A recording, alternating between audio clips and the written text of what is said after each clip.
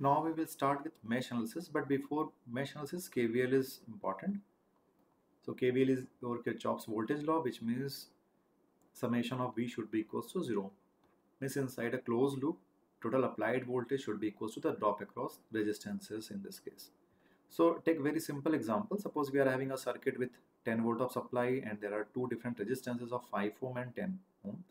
When we are finding the current value I, it should be equals to simply V upon R. Here the value of voltage is 10 volt. That sum of total resistance is 5 plus 10.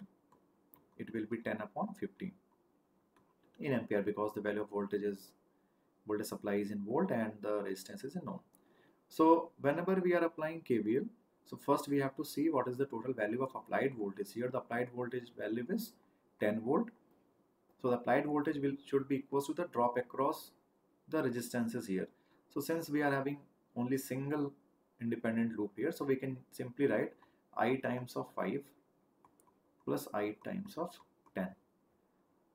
The meaning is in the given circuit we are applying a voltage value of 10 volts and now the drop across resistances are multiplication of I into this resistance and multiplication of I with 10 ohm resistance. So suppose we are finding the drop across this 10 ohm resistance it will be simply R into I value suppose it is R1 if we are finding the voltage drop across this resistance it will be R2 into I value. So what we are trying to assume that the applied voltage that is V it should be equals to the drop across voltages I times of R2 plus I times of R1 or we can say it as V1 plus V2 the total value of V should be equals to V1 plus V2 now when this part is clear now moving towards the mesh analysis part so in mesh analysis again we have to apply KVL only. The first thing is we have to identify independent meshes. We can say independent loops or meshes.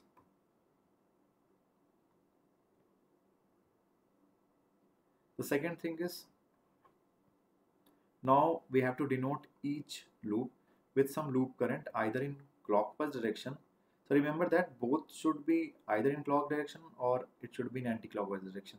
Suppose we are having i1 and i2 as mesh currents. So next part is now we are defining this mesh as mesh 1 and this mesh as mesh 2 the, then apply KVL in mesh 1 so here in the mesh 1 the applied voltage is 10 volt so we can simply write 10 volt so this should be to the drop across this resistance plus drop across this resistance now drop across R1 is I1 times of R1 plus drop across R2. See, in this case, R2 is receiving two current. One is I2 going in just opposite direction as that of I1. So it should be I1 minus I2 times of R2. This is first equation. And the second equation is now when we are talking about mesh 2, here in mesh 2, the applied voltage is again, we are going from 2 plus of the battery. So it applied voltage is again 5. It should be equals to I2 times of I3 drop across this resistance plus drop across this resistance.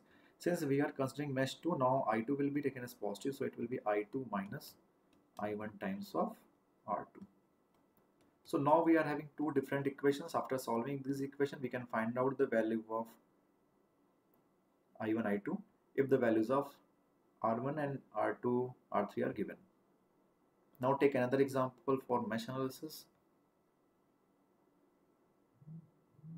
So in this case, we are having three different sources, but the number of independent loops are only two.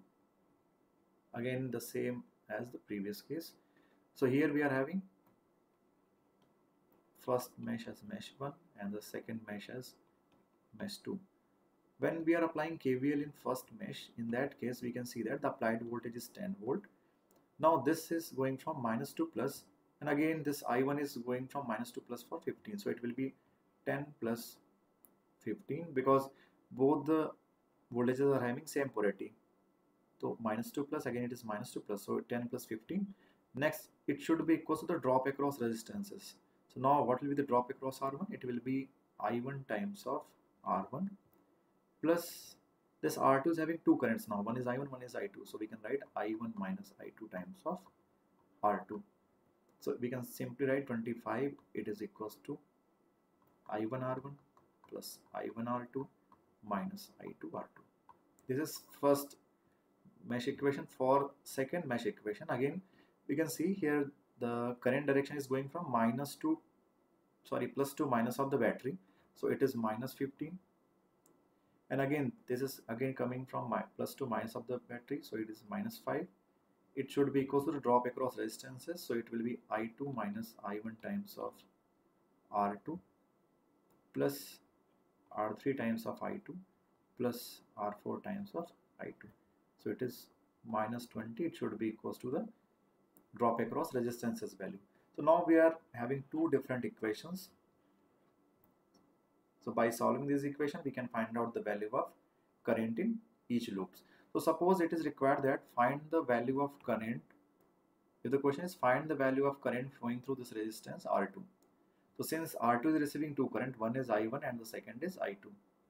So you can either take I1 minus I2 or you can take I2 minus I1. If the current directions are different or if you're getting the negative sign, then we can say that the current directions are different whatever we have assumed in that case. So by this we can apply the mesh analysis.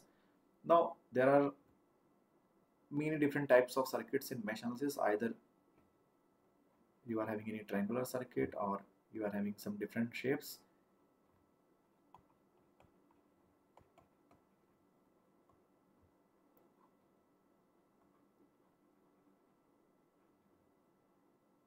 so no need to worry about the the complexity of circuit. It will be utilizing the same thing whenever we are using the mesh analysis.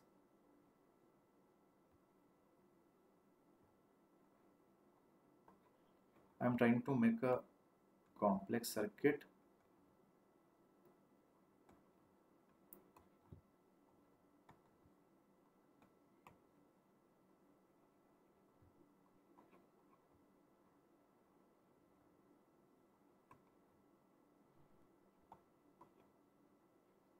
So now by seeing this, you can see it is very complex circuit. But again, if we are applying mesh analysis, it is very easy to solve. So just what we need to do, we need to just make three independent loops with three different mesh currents, I1, I2 and I3. Now we are having three meshes. Just apply the concept V equals to I into R. V is the applied voltage. So suppose for mesh 1, the applied voltage is 10 volt. It is going from plus to minus.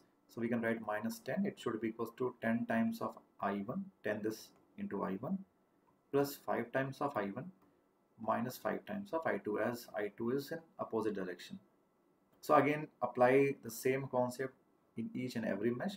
We can find the three different mesh equations. After solving those equations, we can find out the value of I1, I2 and I3. So just remember that we have to apply the same method that is KVL in mesh analysis First, we have to identify the number of independent loops, then mark with different mesh currents, then find out the number of equation based on the required value of I1, I2 and I3 or you can say required value of unknown variables. So by modifying this circuit, if we are changing a, this voltage supply with current source, it will be very easy now. So if you assume there is any current source of 5 ampere for example, so now since I1 is having same direction as that of 5 ampere, we can say that I1 value is 5 ampere. So one unknown is already obtained. So now we have to only find out the values of I2 and I3 by finding two different mesh equations.